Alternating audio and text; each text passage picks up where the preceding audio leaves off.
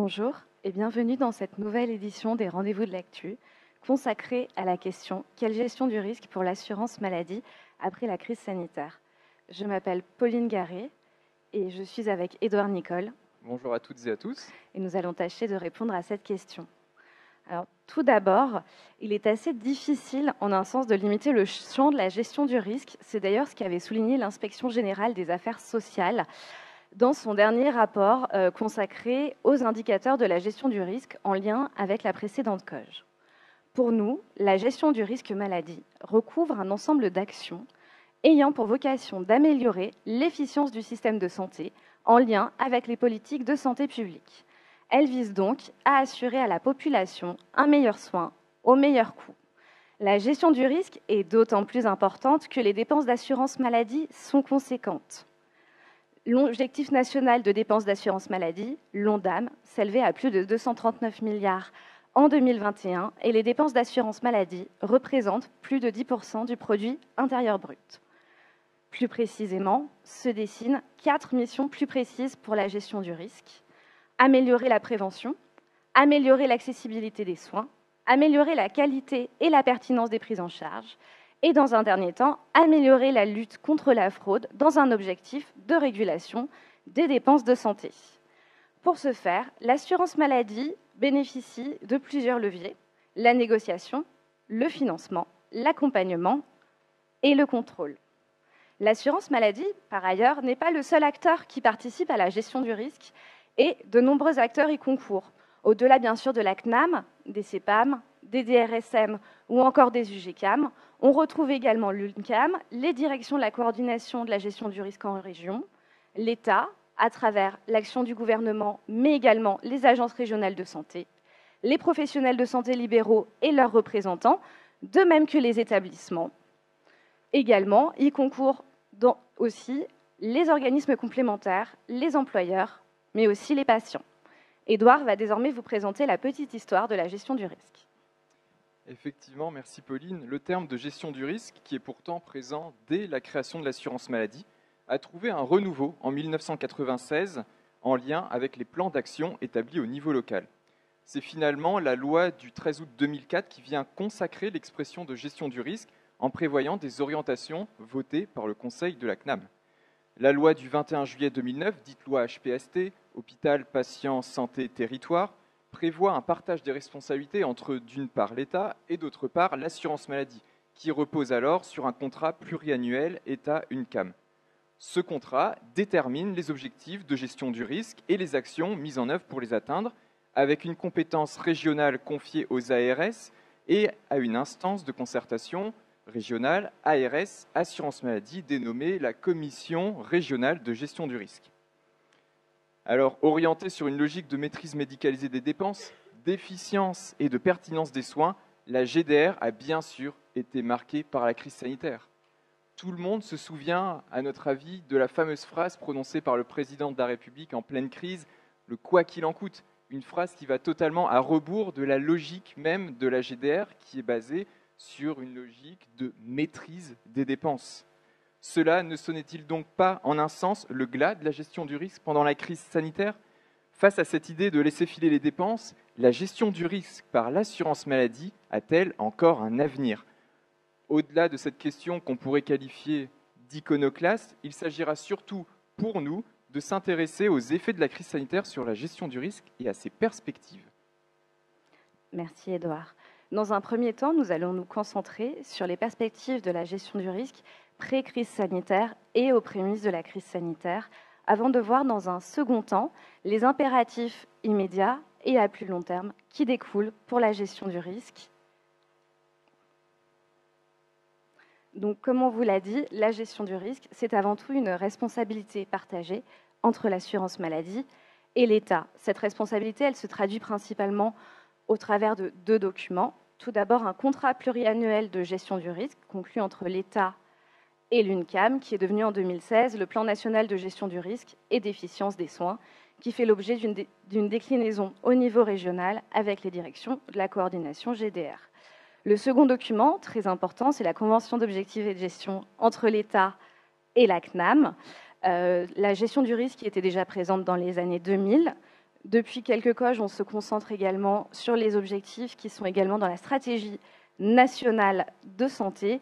Et bien sûr, ces conventions d'objectifs et de gestion sont déclinées au niveau local à travers les CPOG qui vont venir apporter aux organismes des indicateurs au niveau local, mais également au niveau régional.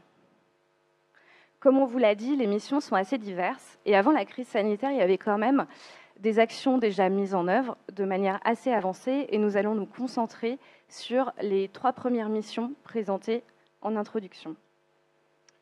Effectivement, et s'agissant de la première mission, l'amélioration de la prévention, eh euh, l'assurance maladie va intervenir euh, tant du point de vue de la prévention individuelle que euh, de prévention collective. D'un côté, s'agissant de la prévention individuelle, eh ça va passer essentiellement par une prise en charge financière de certaines prestations et soins de santé, par exemple les vaccins, les patchs anti-tabac ou encore plus récemment les consultations à fort enjeu de santé publique, par exemple. Et puis, d'un autre côté, s'agissant de la prévention collective, on peut citer le Fonds national de prévention, d'éducation et d'information euh, sanitaire qui finance des programmes de prévention collective ciblés tels que des programmes de dépistage de cancer. Et plus récemment, on a également euh, des structures d'appui à des actions de prévention qui ont été mises en place par l'assurance maladie, telles que euh, la plateforme SOFIA en 2009 à destination des patients diabétiques. Et à côté de la prévention, la deuxième mission, c'est l'amélioration de l'accessibilité des soins. Pauline. Tout à fait. L'idée étant pour l'assurance maladie de pouvoir lutter contre les inégalités sociales et territoriales de santé. Ces, ces, actions peuvent se décliner en deux champs. Un champ permettant de favoriser l'accessibilité géographique, à travers notamment l'idée de libérer du temps médical via la mise en place et le financement d'assistants médicaux, il y a l'idée également d'attirer des professionnels de santé, notamment en favorisant l'exercice regroupé et coordonné avec les MSP, mais également les centres de santé, mais aussi de pouvoir permettre à chacun d'avoir accès à un médecin, malgré la distance géographique. Et c'est dans ce champ qu'intervient notamment la télémédecine.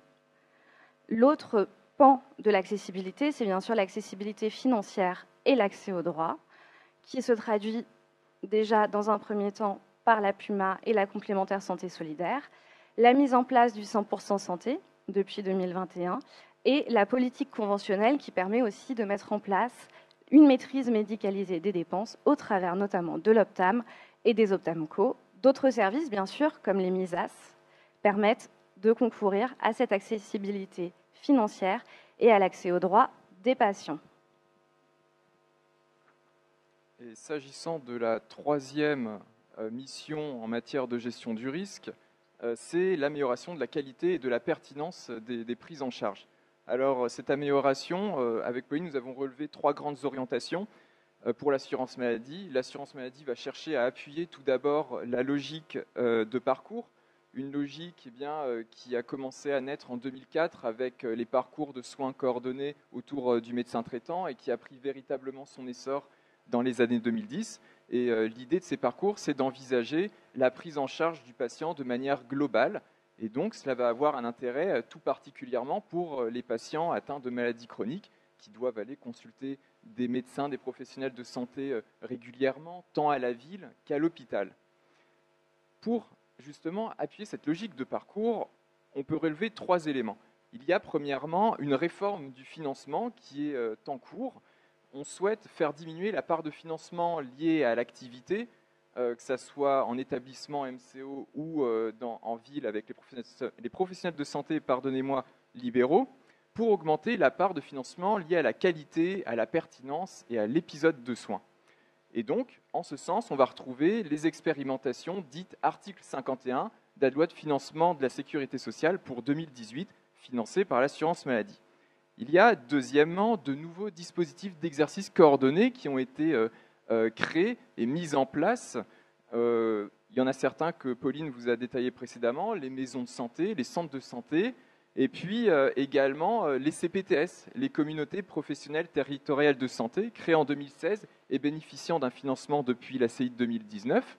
Et puis à côté de ce levier financement, il y a un levier accompagnement par l'assurance maladie. Il y a des personnes qui sont dédiées à cela dans, les CEPAM et qu'on dénomme aujourd'hui les, les ROC, les référents des organisations coordonnées. Et puis, troisième élément, il y a euh, également l'amélioration de l'articulation ville-hôpital pour appuyer cette logique de parcours. Il y a à nouveau les CPTS, mais également, là, directement euh, par l'assurance maladie, le PRADO, le programme d'aide au retour à domicile. Ensuite, à côté de cette logique de parcours, il y a également la promotion des bonnes pratiques par l'assurance maladie. Une promotion des bonnes pratiques tant à l'égard des professionnels de santé libéraux, ça peut passer par la ROSP, la rémunération sur objectif de santé publique, ou également au niveau local par le biais de l'action des dames, des délégués à l'assurance maladie, qui vont accompagner les professionnels de santé libéraux dans leur installation. Mais c'est une promotion des bonnes pratiques qui va également s'adresser aux établissements de santé par le biais de la conclusion de CACES, de contrats pour l'amélioration de la qualité et de l'efficience des soins. Et puis, à côté euh, des parcours, des bonnes pratiques, il y a, on peut le rappeler, le vote du taux de remboursement des médicaments par l'UNCAM, qui, on le rappelle, est, euh, en fonction du niveau de service médical rendu. Par exemple, on peut citer le déremboursement de l'homéopathie, annoncé en 2019 et entré en vigueur effectivement au 1er janvier 2021. Pour conclure sur ce panorama de présentation des différentes missions de la GDR avec des actions récentes en la matière, on peut, euh, on peut relever que l'ONDAM était depuis 2010 respecté et donc euh, l'évolution des dépenses de santé maîtrisée. On pouvait donc dire, grosso modo, que les actions GDR portaient en un sens leurs fruits. Pour autant, on a souhaité, déjà avant la crise sanitaire, commencer à réfléchir un petit peu sur la GDR, voir s'il fallait la repenser pour la rendre davantage efficiente. Une réflexion a donc commencé fin 2019 mais cela sans savoir qu'une crise sanitaire se profilait à l'horizon. Merci Edouard. En effet, la gestion du risque a été fortement collusionnée par la crise sanitaire.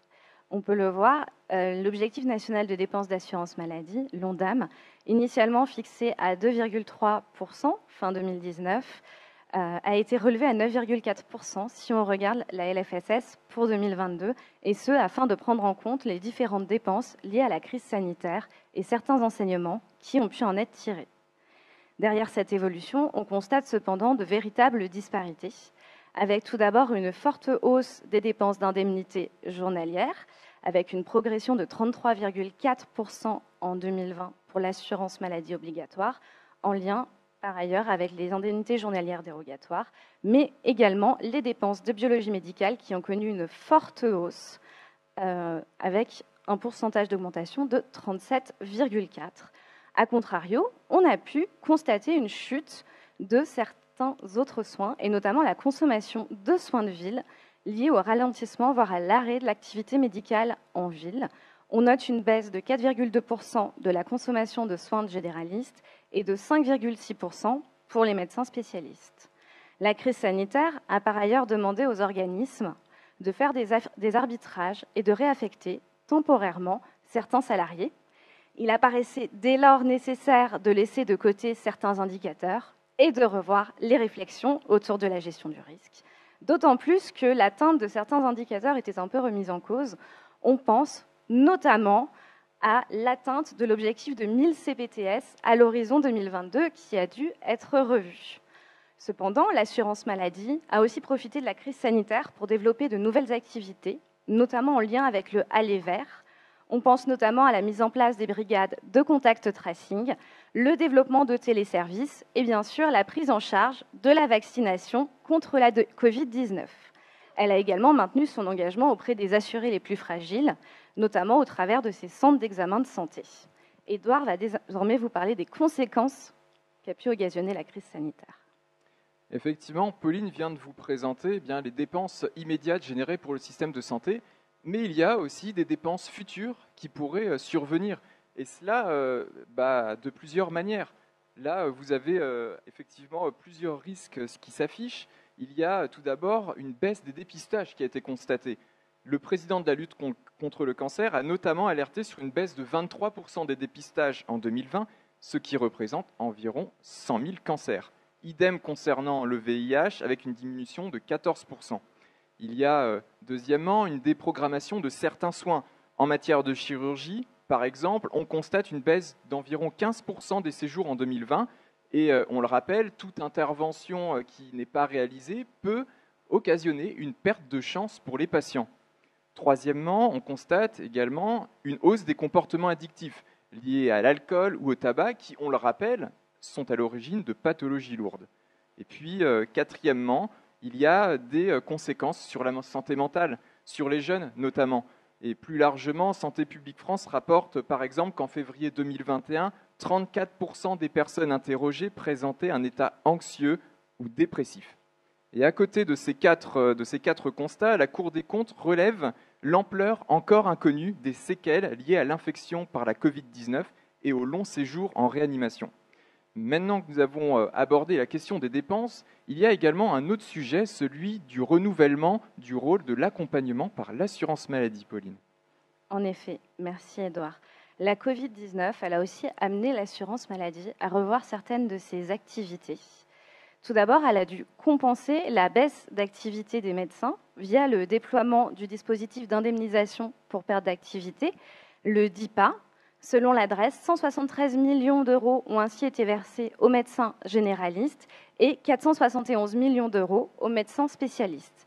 Au-delà de la première vague, il a bien sûr également fallu accompagner les établissements de santé en lien avec les fluctuations d'activité.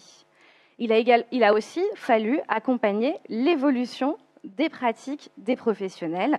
Et c'est ce qui s'est passé, notamment en favorisant le recours à la consultation. On note une prise en charge à 100% de la téléconsultation à compter du 20 mars 2020 et surtout une augmentation du nombre des actes. On est passé de 140 000 téléconsultations remboursées en 2019 à 18,4 millions d'actes en 2020. Et l'objectif d'un million d'actes pour 2021 avait d'ailleurs été dépassé dès le mois de janvier. La télésurveillance également a pu être mobilisée via un relâchement du cadre réglementaire, et c'est le cas notamment avec le dispositif Covidom déployé par l'assistance publique Hôpitaux de Paris pour accompagner les malades du Covid restés à domicile. Il a également fallu mettre en place de nouveaux téléservices, tant à destination des professionnels de santé, mais également à destination des assurés et des employeurs, notamment pour la déclaration des indemnités journalières dérogatoires en lien avec les nouvelles modalités d'arrêt de travail mises en place pendant la crise sanitaire. Au-delà de tous ces impératifs, cependant, on a également vu mise en exergue certaines limites, certains reproches que l'on pouvait faire à la gestion du risque notamment l'idée qu'on encourageait le volume d'actes et qu'on prenait peut-être moins en charge la pertinence et la qualité des soins. L'idée également d'un manque d'investissement dans les structures hospitalières depuis quelques années. L'impréparation face aux crises sanitaires au regard des conséquences de la Covid-19 pour l'hôpital et bien sûr un manque de fluidité dans l'articulation ville-hôpital. Tous ces constats amenaient à un besoin d'évolution et en tout cas à des impératifs immédiats à prendre en compte. Absolument, Pauline. Et s'agissant des impératifs immédiats qui ne pouvaient pas t'attendre, eh bien, euh, c'est euh, la maîtrise des dépenses de santé, en particulier euh, de biologie, qui, comme Pauline vous l'a montré tout à l'heure, ont connu une forte hausse. Et puis, il y a également la question liée à une éventuelle relocalisation de la production en France des médicaments. Et puis, d'un autre côté, il y a également la prévention. Il s'agit de reprendre vigoureusement et rigoureusement ces campagnes de prévention, notamment auprès des plus vulnérables, après l'alerte, on l'a montré, sur les chiffres très faibles de l'année 2020. Mais à côté de ces impératifs euh, immédiats, il y a également eu en parallèle la reprise des chantiers existants à l'aune de quatre autres enjeux mis en lumière par la crise. Merci Edouard. En effet, la crise sanitaire demandait également, une fois les grosses vagues passées, de reprendre certains chantiers préexistants dans l'idée tout d'abord de, placer le patient au centre de sa prise en charge en tant qu'acteur, d'améliorer la qualité et l'accessibilité des soins, mais aussi l'articulation ville-hôpital et d'inclure davantage les problématiques hospitalières dans la gestion du risque. La réponse à ces quatre grands enjeux, elle passe notamment par la poursuite du développement de la télémédecine, dans un premier temps. La téléconsultation, elle va rester prise en charge à 100% jusqu'au 31 juillet 2022 et la loi de financement de la sécurité sociale pour 2022 prévoit, elle, une prise en charge de la télésurveillance. Cependant, si on regarde le rapport de la Cour des comptes, on note qu'il reste encore certaines barrières à lever pour favoriser véritablement l'essor de la télémédecine. Il s'agit notamment de favoriser l'accompagnement des professionnels de santé au-delà des aides à l'équipement, de mieux les former, mais aussi de travailler sur l'interopérabilité des outils numériques mis à disposition des professionnels de santé et des agences régionales de santé. Il faut également développer encore plus l'exercice regroupé et coordonné, et ce, afin de réussir véritablement l'articulation ville-hôpital. Pour cela, on a vu se mettre en place des organisations permettant de favoriser le développement des CPTS avec un booster CPTS en lien avec les ARS. 173 CPTS ont ainsi été signés fin 2021 et le volet CPTS a d'ailleurs été renforcé récemment par la signature d'un nouvel avenant à l'accord conventionnel interprofessionnel faisant que les CPTS participent désormais à l'articulation ville-hôpital, notamment en lien avec le nouveau service d'accès aux soins. Il apparaît aussi nécessaire de travailler autour de certaines considérations qu'on retrouve dans le Ségur de la santé. Il s'agit notamment de repenser la qualité des soins, à contrario de la T2A, et de transformer les modalités d'investissement en santé et d'accompagner tant les praticiens hospitaliers que les praticiens libéraux en matière de prescription et d'évolution des pratiques. Le dernier sujet, sans doute, c'est de développer un petit peu plus les logiques de parcours patient, dans l'idée de passer d'une logique de parcours de soins à une logique parcours de santé, avec un patient assuré, lui-même acteur de sa santé, notamment en mobilisant le télésoin. Cependant, un autre mouvement de réflexion autour de la gestion du risque se précisait un petit peu plus au sortir de la première vague. Effectivement, en parallèle aux enjeux euh, décrits euh, par Pauline, il y a toute une série de considérations qui va appuyer l'idée d'une réforme de la GDR. Il y a euh, premièrement des évolutions structurelles récentes, les maisons de santé, les CPTS, ou encore le virage numérique, dont il faut tenir compte. Il y a deuxièmement euh, l'intérêt d'accroître la légitimité, la crédibilité de l'assurance maladie en matière de GDR. Troisièmement, il s'agit de donner un nouvel élan aux actions fructueuses des dernières années qui ont pu subir un ralenti, voire un arrêt lié euh, à la crise. Et puis quatrièmement, il ne faut pas oublier les agents euh, de la sécurité sociale qui travaillent dans ces services de la GDR, qui ont pu connaître une perte de sens. Et donc là, il peut s'agir de renouveler l'intérêt pour ces agents. C'est pourquoi, fin 2020, et sous l'impulsion en particulier du nouveau directeur euh, général de la CNAM, Thomas Fatome, une réflexion sur la rénovation de la GDR est alors initiée. Elle aboutira au programme Rénov GDR mi-2021. Alors, s'agissant de ce programme Rénov GDR, avant de rentrer un petit peu plus dans les détails, si on s'attarde sur la logique, eh bien, on relève que euh, ce n'est pas une révolution, c'est une rénovation, comme l'indique son nom. Et il y a trois piliers dans cette logique. Le premier, c'est rénover les outils de GDR dans une logique d'offre de services et multicanal. Deuxièmement, appliquer ces outils et méthodes aux grands postes de maîtrise médicalisée. Et puis, troisièmement, à plus long terme, porter des projets de transformation structurants pour le système de soins par exemple des actions de prévention ambitieuses ou encore développer la logique de parcours.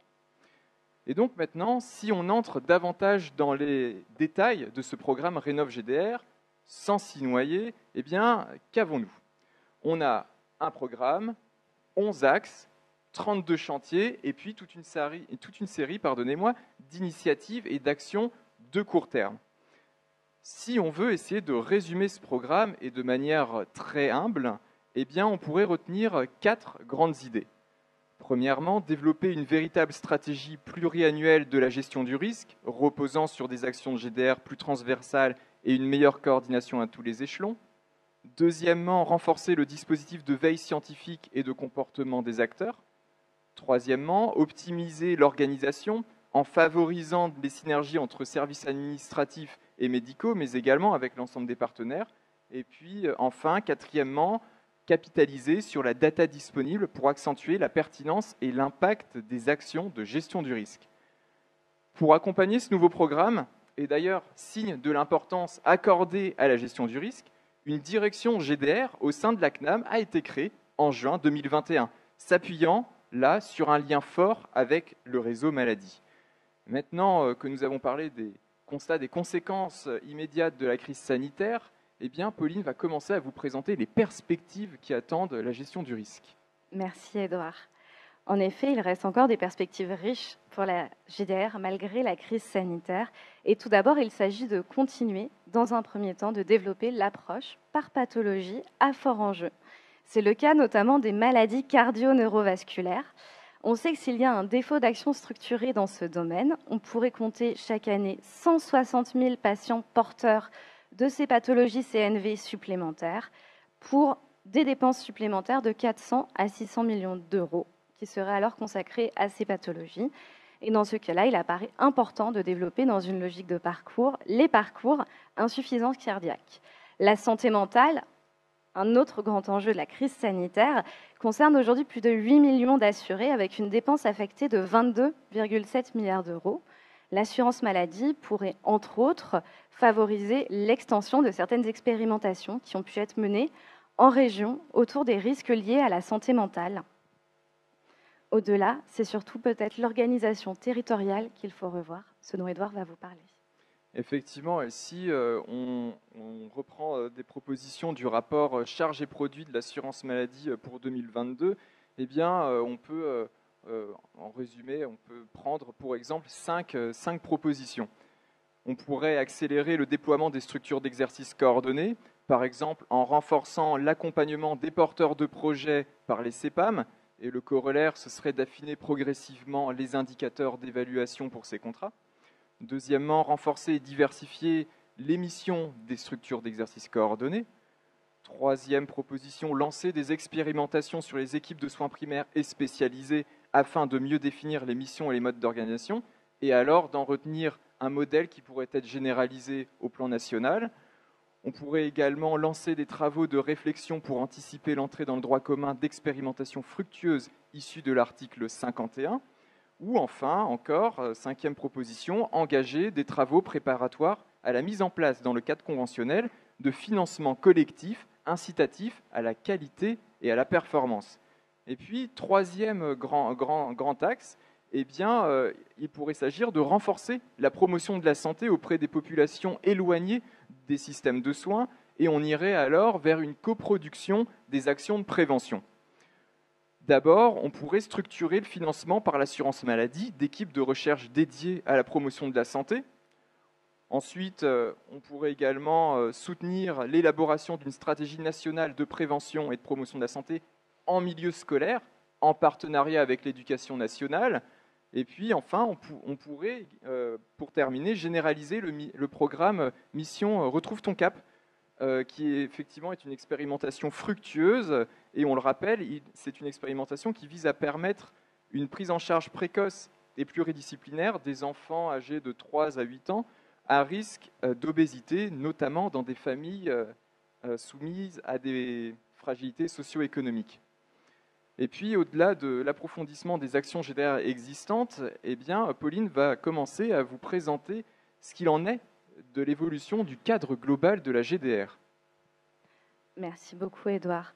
En début d'année 2022 a été diffusé le nouveau plan national de gestion du risque et d'efficience euh, des soins, qui reprend en grande partie les tendances qu'on pouvait voir, ceci dit, dans le précédent plan.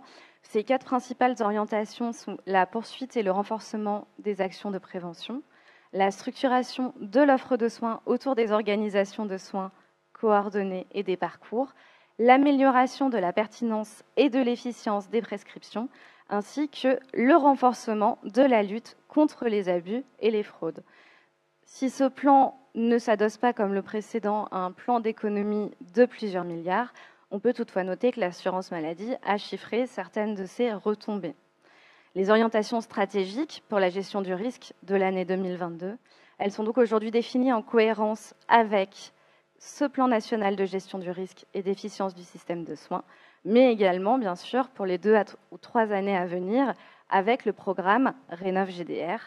Bien sûr, les perspectives ne s'arrêtent pas à ce plan national de gestion du risque et d'autres éléments offrent aujourd'hui des perspectives à la gestion du risque.